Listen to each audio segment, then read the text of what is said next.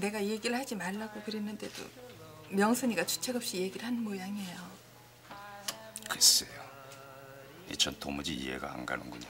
지금 와서 돈을 빌려다는 건 상식 밖의 일입니다.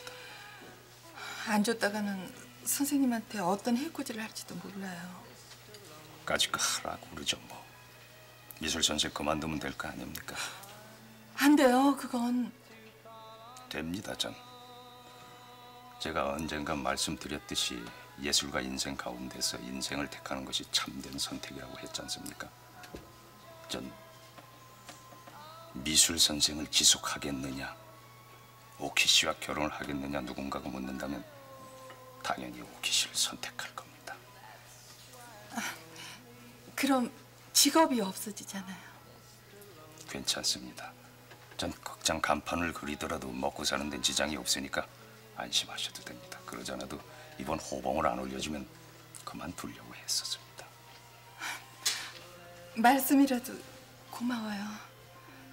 저 말로만 앞서는 놈 아닙니다. 언제라도 실행할 각오가 돼 있는 놈입니다. 돈 주지 마십시오. 예, 안 줄 거예요. 어제 박지볶음 먹고 속 괜찮으셨습니까? 예, 전 밤새도록 설사했습니다. 저도요. 사실은 설사했어요. 뭘 먹을까요 오늘은? 우리가 고민할 것은 이것밖에 없습니다.